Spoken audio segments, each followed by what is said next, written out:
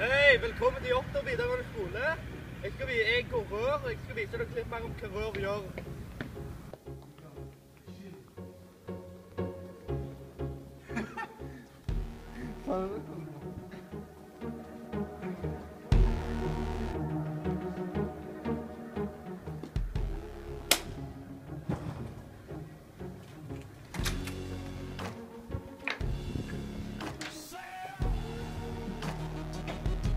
Ja, og her er VG1-verksted.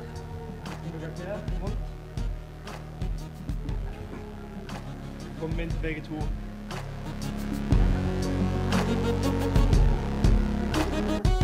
Ja, her er VG2-området. Litt rotete, men det how we do. Her har vi ja, et rør. til verkstedet. Her er litt av verktøyet. Men eh, det var ikke poenget. Nå skal vi til det viktigste. Værutstyr. Let's go. Dette her er garderoben vår.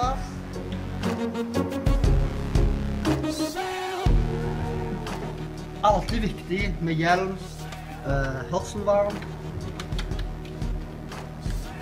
Og briller. ja, da har jeg stoppet det viktigste. Verneutstyr, sko, bukser, briller og sånn da. Så nå skal vi gå opp og vise litt av hva vi egentlig gjør.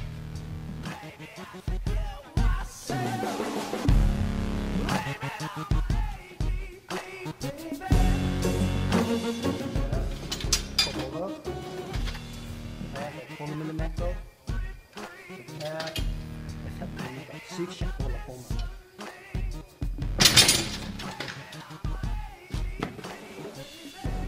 Denne her er sort stål. Hei. Her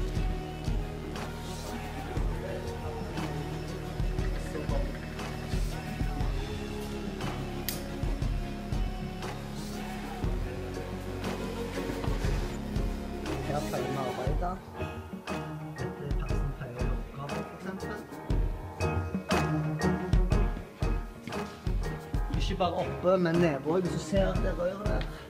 Roter sånn òg når det trengs.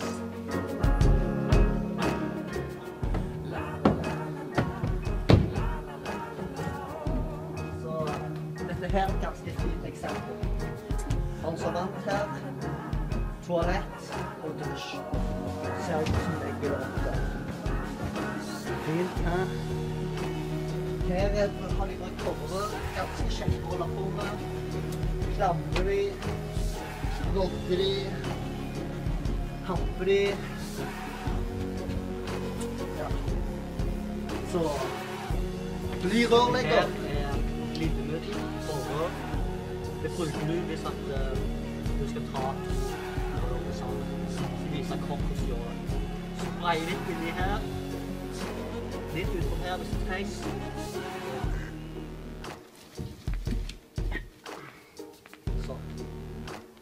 Velg rør. Ok, her er noen av verktøyene vi bruker som rørlegger. Ja, metermål, rørkutter, brosj, eh, stjernejern, og resten av tingene. Skiftnøkkel, vannpumpetang, rørtang og vadder. Ja, nå kommer vi til å spørre en random person, eller en i parallellklassen, om hva yrke er best, og hva skole er best å gå på. Ja, hei, Arthur. Ja, hei. Hva skole best å gå? Jotter. Hva yrke er best? Rørlegger! Hva yrke er best? Spør klassen om hva yrke er best. Ja, ja, gutta, hva yrke er best? Rørlegger!